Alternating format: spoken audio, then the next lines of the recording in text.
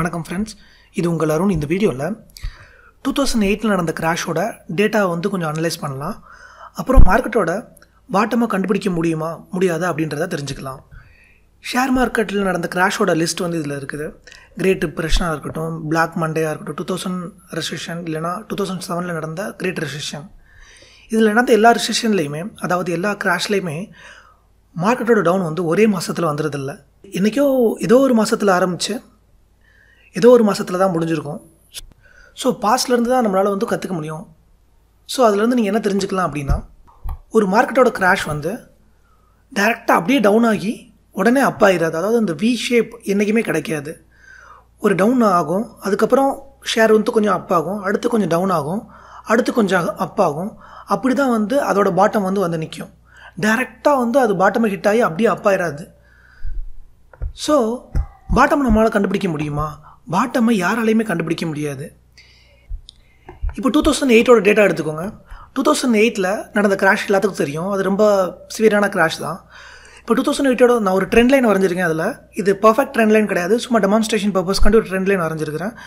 இப்போ two thousand எயிட்டோட ஸ்டார்டிங்கில் share வந்து ஒரு தேர்ட்டி பர்சன்டேஜ் கிட்ட இறங்கிருது அடுத்து ஒரு ஏற்றம் வருது. அதுக்கப்புறம் ஒரு இறக்கம் வருது. அடுத்து மறுபடியும் அப் ஆகுது டவுன் ஆகுது. இப்படி பல டைம் அப் ஆகி டவுன் ஆகி கடைசியில் அந்த டூ தௌசண்ட் எயிட்டோட அக்டோபர் கிட்ட நவம்பர் கிட்ட அதோட பாட்டம் வருது. அதுக்கப்புறம் அது வந்து ரெக்கவர் ஆக ஆரம்பிச்சிருச்சு. ஸோ யாராலையும் பாட்டத்தை கண்டுபிடிக்க முடியாது. அந்த டவுன் ட்ரெண்டில் இருக்கிறப்போ சில பேர் வந்து அந்த முந்தின இறக்கம் தான் பாட்டம் நினைப்பாங்க. பாட்டம் வந்து எங்கே முடியும்னு யாராலையும் கெஸ் பண்ணவே முடியாது. அப்படி முடிஞ்சு அப்படின்னா அந்த பாட்டமாக கெஸ் பண்ணுறவங்க எவ்வளோ பெரிய கொடிசரன் ஆயிடலாம் ஈஸியாக ஸோ பாட்டமாக கண்டுபிடிக்க யாராலையும் முடியாது. அதே மாதிரி இது வந்து ஷேர் மார்க்கெட்டோட க்ராஷாக இல்லை டவுன் ட்ரெண்டான்றதை யாராலையும் கண்டுபிடிக்க முடியாது. எல்லாமே ஒரு யூகம்தான். ஸோ இந்த மாதிரி டைமில் எப்படி நம்ம வந்து பங்கு வாங்குறது? இந்த மாதிரி டைமில் நம்ம வந்து பாட்டமாக கண்டுபிடிக்க வெயிட் பண்ணாமல் யாராலையும் பாட்டத்தை கண்டுபிடிக்க முடியாதுன்றது தான் உண்மை. ஸோ பாட்டத்தை கண்டுபிடிக்க வெயிட் பண்ணாமல் ஃபண்டமெண்டலாக ஸ்ட்ராங்கான ஸ்டாக்கை வந்து நம்ம வாங்க ட்ரை பண்ணலாம். அதாவது நீங்கள் வந்து பார்க்குறீங்க ஒரு ஃபண்டமெண்டல் அனாலிசிஸ் மூலமாக அந்த ஸ்டாக் வந்து ரொம்ப ஸ்ட்ராங்காக இருக்கா? நல்ல மோட் இருக்குதா? இது மோனோபாலியா இதோட காம்படிட்டர்ஸ் எப்படி இருக்கிறாங்க? அப்படின்றதெல்லாம் நம்ம வந்து ஒரு கன்சிடர் பண்ணணும்.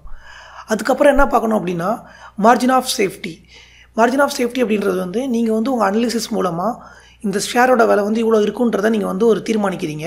பட் கரண்ட் மார்க்கெட் ப்ரைஸ் வந்து அதோட கம்மியாக இருந்துச்சுன்னா you have margin of safety so இந்த மாதிரி ஃபண்டமெண்டல் அனாலிசிஸ் மூலமாக மார்ஜின் ஆஃப் சேஃப்டியை நீங்கள் கண்டுபிடிச்சி இப்போ அந்த ஷேர் வந்து கம்மியாக இருக்குது அப்படின்னா நீங்கள் அந்த பங்கை வந்து வாங்க ட்ரை பண்ணலாம்.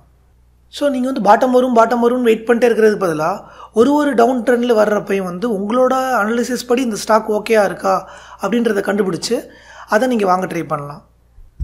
நன்றி. இந்த வீடியோ பார்த்த அனைவருக்கும் என்னோட நன்றி. இந்த மாதிரி பங்குச்சந்தையை பற்றி வீடியோ தெரிஞ்சுக்கிறதுக்கு நம்ம தமிழ் சேனலை சப்ஸ்கிரைப் பண்ணுங்கள் சப்ஸ்கிரைப் பட்டன் பக்கத்தில் உள்ள பெல் ஐக்கானே ப்ரெஸ் பண்ணிடுங்க